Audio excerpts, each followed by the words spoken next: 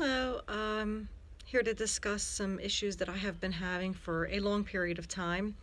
Um, several years ago, I was hurt in a car accident. Uh, I was rear ended and um, had some damage occur to my spine.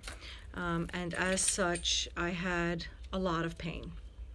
Um, the pain was very, very limiting as far as what I could do. Um, it caused a tremendous change in my ability to perform my normal activities of daily living. Um, and certainly exercise and um, just walking, really, uh, were extremely difficult. Um, I also noticed that uh, my weight um, increased. I had always been very resistant to weight loss, um, but this made it much more difficult, um, in fact, impossible. And no matter what I tried, it just really did not work.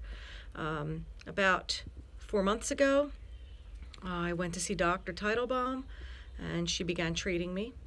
Um, I am happy to report that my pain has subsided to almost normal levels to the point where I have regained most of my activities of daily living, although I do take it slowly um, I can walk, I can exercise mildly, I am able to perform normal household tasks that I normally would, and I even um, am able to work um, out on the floor. I'm a nurse um, occasionally. I can't do it every day, but I can do it occasionally, which is something I could not do for a very long time.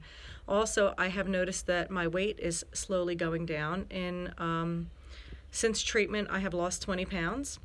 This is maybe not the fastest weight loss anybody's ever seen, but for me, it's enormous.